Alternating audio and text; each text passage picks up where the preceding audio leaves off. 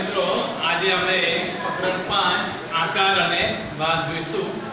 આકારો તો આપણે જોઈએ, અલગ અલગ પ્રકારના આકારો છે. તમે જોયો હશે. એક તો ત્રિકોણ ચોરસ લંબચોરસ, વર્તુળ, પંચકોણ અને ષષ્ઠકોણ. આપણે ધોરણ 3 ની અંદર આ બધા આકારો જે છે, ભણી ગયા છે આપણે ધોરણ 4 ની અંદર ફરીથી વિસ્તૃત રીતે આનું ભણવાનું છે. પહેલા આપણે એની માહિતી લઈએ. તો ત્રિકોણ જે છે, આપણે આ ત્રિકોણ દોર્યો છે. તો આ આકૃતિને ત્રિકોણ કહે છે. આપણે આજે આપણે જોઈશ એને શું કહેવાય છે? ત્રિકોણ કહેવાય છે. હવે એને જો ત્રણ બાજુઓ છે એક બાજુ, આ બીજી બાજુ અને ત્રણ બાજુઓ છે. અને ખૂણામાં જોઈએ તો એને ત્રણ ખૂણાઓ છે. આ એક, આ બે અને ત્રણ ખૂણાઓ છે. હવે એની કિનારીઓ જોઈએ. તો કિનારી પણ ત્રણ છે. આ એની કિનારી કહેવાય. તો આ એક કિનારી, આ બીજી કિનારી અને આ ત્રીજી કિનારી. તો ત્રિકોણ જે છે, એ ત્રિકોણને ત્રણ બાજુઓ હોય છે. એક, બે, ત્રણ ખૂણા હોય છે અને ત્રણ કિનારીઓ એટલે કે ત્રણ બાજુઓ હોય તો આને શું કહેવાશે? ત્રિકોણ કહેવાશે. એવી રીતે આપણે બીજો જોઈએ, ચોરસ. તો ચોરસ આ આકૃતિને ચોરસ કહેવામાં આવે છે. અહીંયાથી આપણે દોરવામાં આવે છે. ચારે બાજુના માપ એના સરખા હોય છે. ચોરસનો એક બાજુ માપ ત્રણ સેમી હોય, તો ચારે બાજુ માપ પણ ત્રણ સેમી હોય, તો પાંચ સેમી હોય, તો એનું માપ પાંચ સેમી હોય છે. તો તેને ચાર બાજુઓ હોય છે. તો આ એક, બે, ત્રણ અને ચાર. આ ચાર એની બાજુઓ હોય છે.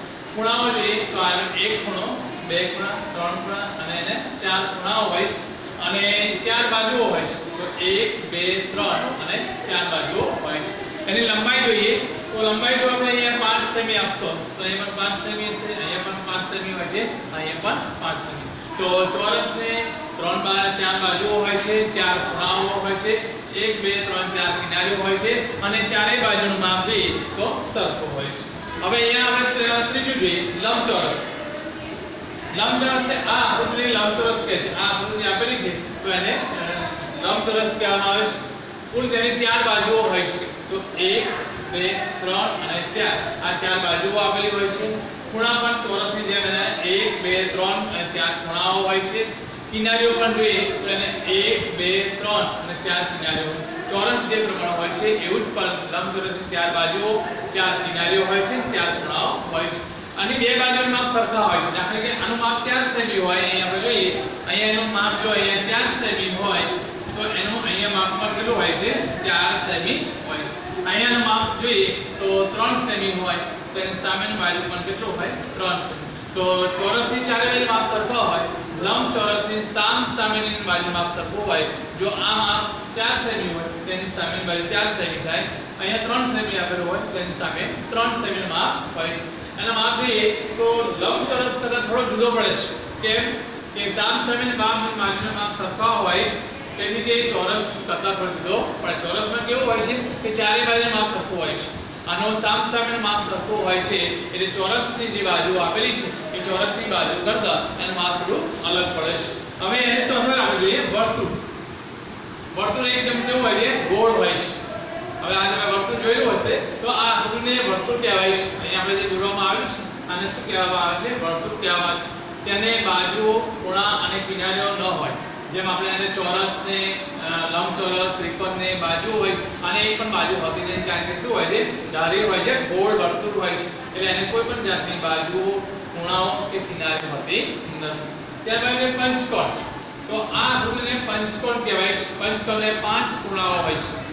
જો અહીં એક બે ત્રણ ચાર ને પાંચ. તો પંચકોણને પાંચ ખૂણાઓ હોય છે. અને બાજુઓ જોઈએ તો પાંચ બાજુઓ હોય છે. અને પાંચ કિનારીઓ હોય છે.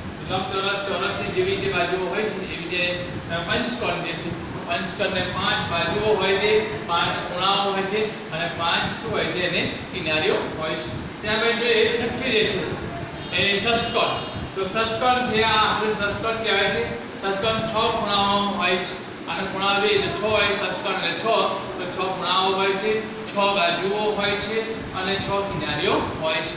તો આ મકર આકાર જે છે જોયું છે ત્રિકોણ ચોરસ લંબચોરસ વર્તુળ પંચકોણ આ ષષ્ઠકોણ અલગ અલગ પ્રકારની બાજુઓ ખૂણાઓ અને છે.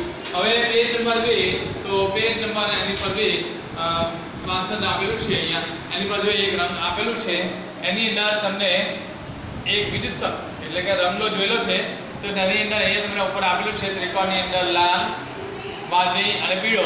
તો આની અંદર જે છે એ તમારે રંગ પૂરી દેવાનો છે. ચોપડીમાં ચોપડીમાં તમારે એની અંદર શું કરવાનું છે? રંગ પૂરી દેવાનો છે. આજે આપણે જોઈએ તો અહીંયા સુધી આપણે જોઈશું. એથી આગળ જોવું કાલે